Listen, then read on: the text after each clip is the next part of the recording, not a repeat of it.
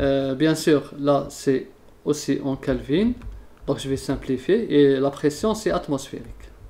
Donc, j'aurai une pression du point triple en atmosphère. Euh, à la fin, euh, j'aurai la pression du point triple, c'est l'exposant. Donc, je vais avoir l'exposant de ça moins ça. D'accord? J'ai trouvé une valeur d'environ 0,4016. Donc, la pression au point triple est égal à environ 1,5 atmosphères. Voici la pression au point triple. Bon, en faisant le calcul, tout ça, vous allez trouver cette valeur. Euh, donc là, on a trouvé les coordonnées du point triple. Le voici, les points triple. Et là, pour coordonnées, T triple 337 Kelvin et pression triple est égal à 1,5 Voici notre point triple. Donc c'est le point, euh, euh, dans, sous cette, euh, température et pression, on a la coexistence des trois phases. donc là, c'était la deuxième question. On a déterminé ça et ça. Maintenant, on va calculer les enthalpies molaires de vaporisation, de sublimation et de fusion sous une atmosphère en admettant qu'elle reste constante.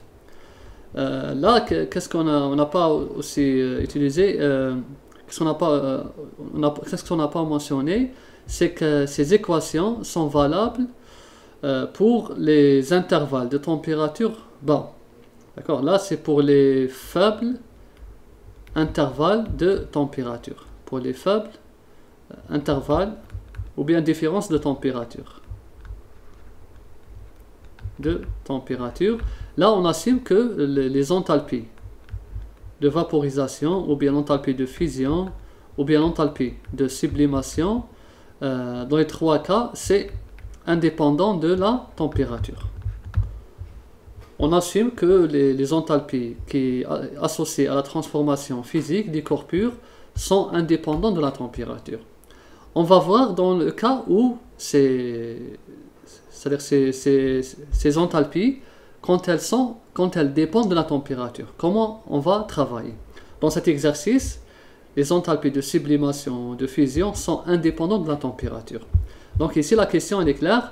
Euh, on va déterminer ces enthalpies en assumant qu'elles restent constantes. C'est-à-dire, ça veut dire quoi constante? Ça veut dire indépendante de la température. Elles ne dépendent pas de la température. C'est ce qu'il ce qu'il veut dire.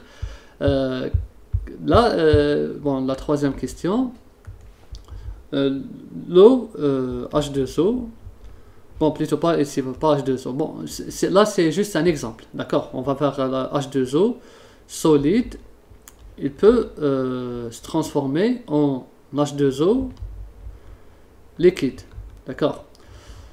Il est accompagné par une, par une enthalpie de fusion. Aussi, on sait que H2O liquide se vaporise en H2O gaz. Il est accompagné par une température de vaporisation, ou plutôt accompagné par une enthalpie de vaporisation. Et aussi, euh, si on fait la somme des deux, j'aurai H2O solide qui se transforme en H2O gaz. Cette transformation est accompagnée par une enthalpie de sublimation. Donc on peut écrire en quelque sorte que delta H de sublimation est égal à delta H de fusion plus delta H de vaporisation. Euh, là, pourquoi euh, on peut écrire ça? Car euh, l'enthalpie est une fonction d'état, il ne faut pas l'oublier. Elle dépend de, de l'état initial et l'état final. Elle ne dépend pas du chemin suivi.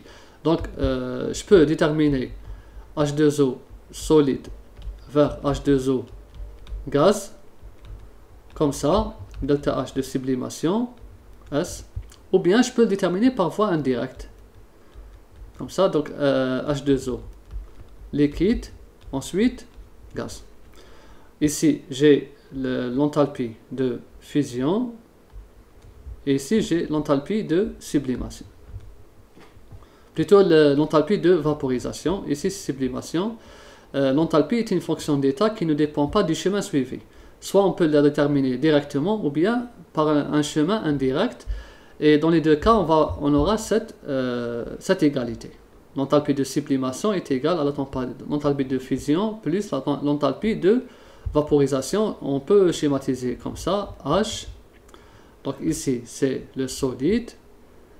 Ici, c'est le liquide. Et ici, c'est le gaz. Euh, voici l'enthalpie de fusion. Voici l'enthalpie de vaporisation. Et la somme des deux, c'est quoi? C'est juste l'enthalpie de sublimation. L'enthalpie de sublimation, elle est supérieure aux deux, car c'est une fonction d'état. Euh, donc on va directement...